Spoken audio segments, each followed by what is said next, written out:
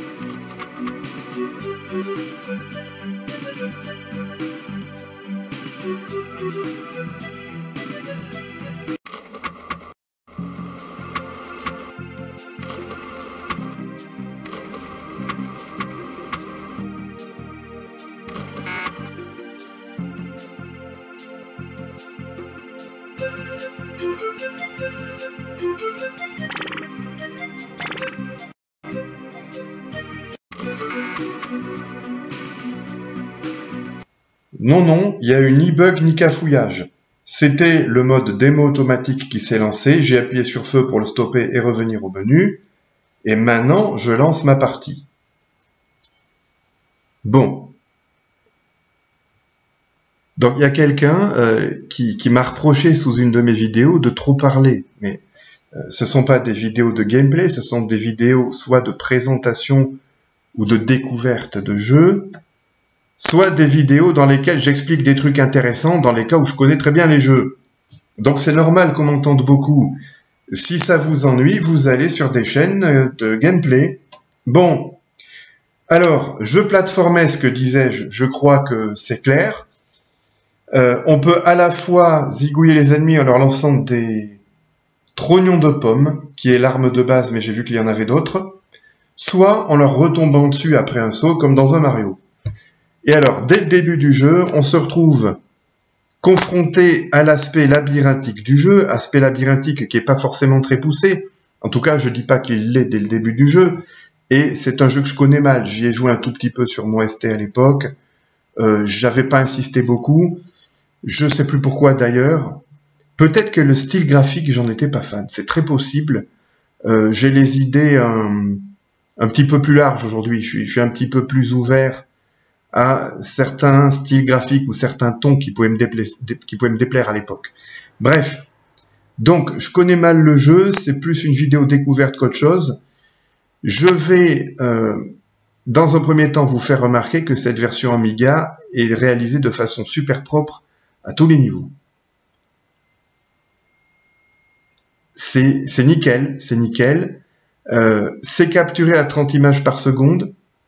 Peut-être que la vidéo que vous verrez est à 60 images par seconde. Euh, je dis peut-être, hein, parce que quand j'ai capturé des images de la version ST, c'était capturé à 60. Donc peut-être que la vidéo globale est à 60, je ne sais pas encore. Si vous voulez absolument savoir, regardez dans la description, j'y préciserai sûrement si elle est à 30 ou à 60. Ce qu'on voit là, j'aime pas trop. Là, j'ai perdu plus de la moitié de, ma barre de vie, juste parce qu'en me fritant contre l'ennemi qui était là-haut, euh, je Enfin, je sais pas. Il y a un moment où je me suis entendu dire mais saute couillon, hein? Hum, Ce qui est rigolo, c'est que j'ai eu exactement le même problème au même endroit dans la version ST, alors qu'en dehors de ça, les ennemis, pour le moment, n'ont posé zéro problème. Ce qui m'a posé problème dans le jeu et qui va m'éviter, ou plutôt m'empêcher, ou plutôt me dissuader d'y revenir, c'est le côté labyrinthique, plus vous avez besoin de certains items pour pas vous retrouver bloqué, et vous risquez de les louper ou de les gaspiller et donc d'être bloqué. Voilà, ça m'aurait pas du tout empêché d'apprécier le jeu à l'époque. Je crois vraiment pas ça que c'était ça qui m'avait. Je crois vraiment pas que c'était ça qui m'avait problème, qui m'avait posé problème à l'époque. Mais aujourd'hui, euh, bon, j'y reviendrai pas. J'ai peu de temps. Mais voilà, ce jeu est techniquement une réussite et c'est très probablement une réussite en gameplay. Après, on laissera les personnes qui connaissent bien le jeu nous dire dans les commentaires ce qu'il vaut en termes de level design. Est-ce qu'il tient jusqu'à la durée euh, Est-ce qu'il tient sur la durée? Euh, Est-ce que le gameplay varie un petit peu ou pas entre maintenant et la fin du jeu Voilà, prends un téléporteur avant d'avoir attrapé tous les bonus abrutis. C'est moi hein, que je traite d'abruti. Bon, vous avez remarqué, j'ai trois bombes là. Il y a l'inventaire en bas. On démarre le jeu avec zéro bombe. Si j'ai trois bombes, c'est que j'en ai trouvé trois. Eh bien, ces bombes, il y a des moments où elles sont nécessaires pour avancer. D'ailleurs, on va faire une petite avance rapide en musique. Vous allez voir un moment où ces bombes servent.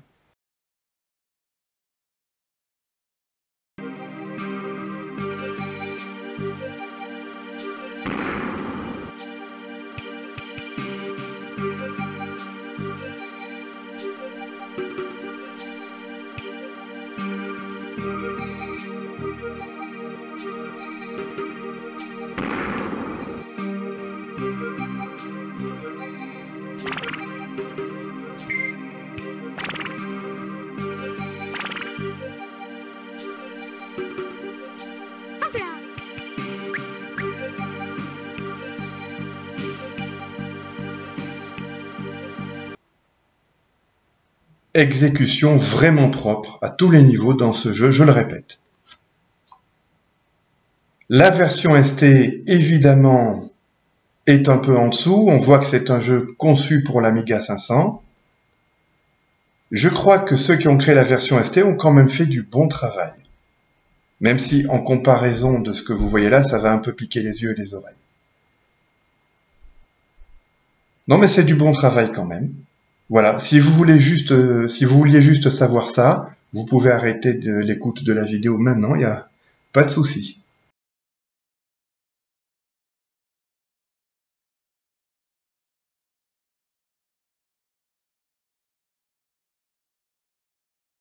Allez, on lance la version ST. Rappelez-vous que si vous avez l'impression que les pixels sont exagérément flous ou bizarres, c'est sûrement un problème d'interpolation, c'est pas le jeu qui avait un défaut, à la base.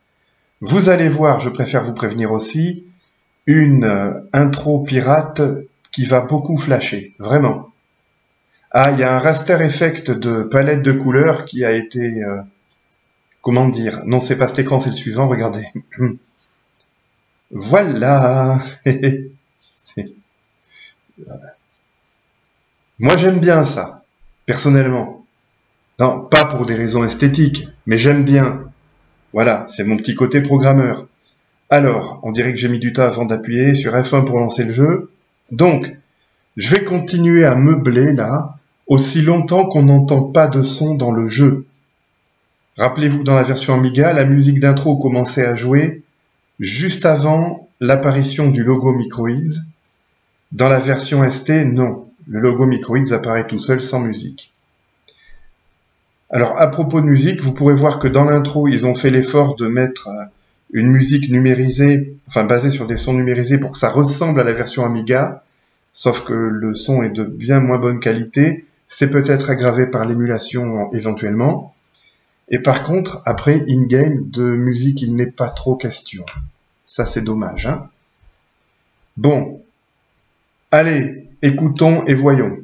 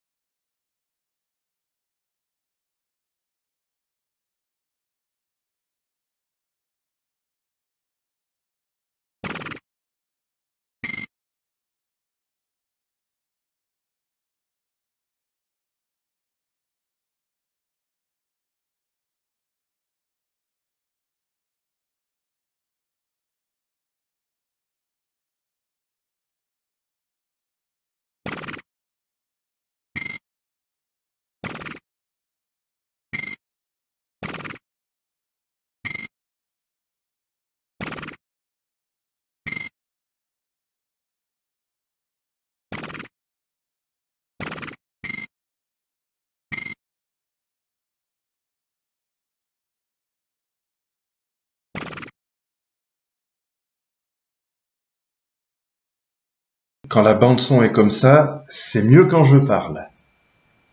Alors j'ai dit que la conversion sur ST était vraiment bien faite, mais il y, a quand même un détail qui est pas terrible, un détail qui est choquant. L'avez-vous remarqué? Non, c'est pas le fait que l'intro se limite à un seul écran. En plus, c'est une version craquée et peut-être que c'était pas le cas dans le jeu original si vous voulez, c'est un petit peu dommage, mais ça enlève rien au jeu à proprement parler. Bon, là, j'ai le même problème à cet endroit exactement qu'avec euh, la version Amiga. Bravo. Non, c'est pas non plus le raster effect de fond avec le dégradé. Et oui, il y a, euh, moins de tons différents que sur Amiga. Peut-être que le jeu ne se sert pas de la palette étendue sur STE. Bon. Ça, c'est pas choquant, c'était fréquent. Euh, on s'y fait très bien. Voilà, le scrolling horizontal hyper saccadé, on s'y fait aussi. Voilà, regardez. Le scrolling vertical se fait de la même façon que le scrolling horizontal par à coup. Ça, c'est inadmissible. Sur STF, il n'y a jamais eu de difficulté à faire des scrollings verticaux. Les scrollings horizontaux étaient plus difficiles pour des raisons techniques. Le scrolling vertical, normalement, c'est pas supposé être un problème. Donc, est-ce que le ou les programmeurs de la version ST de ce jeu ont fait exprès de flinguer le scrolling vertical pour qu'il se fasse de la même façon, façon que le scrolling horizontal pour que globalement ça choque pas trop? Parce que peut-être qu'un jeu avec une composante verticale du scrolling parfaitement fluide et une composante horizontale par à coup, ça aurait euh, décontenancé, désarçonné les joueurs Ou est-ce que c'est un problème de compétence? Je ne saurais pas dire. Et peut-être que dans le premier cas, c'est un bon choix en fait. Mais en tout cas, vu d'aujourd'hui, c'est assez choquant. C'est mon avis du moins, et ça ne m'empêche pas de continuer à considérer que cette version ST est pas mal faite. Euh, c'est dommage qu'il n'y ait pas de musique quand même in-game, même pas une vieille musique chip qui aurait pu être très réussie. S'il y a une vraie faiblesse dans cette version ST, c'est peut-être celle-là plutôt. Hein Allez, pensez, un, à mettre en commentaire ce que vous avez pensé du jeu. Deux, à mettre un, un pouce de la couleur que vous voulez. Et trois, à revenir sur la chaîne, hein, de ces quatre. À bientôt.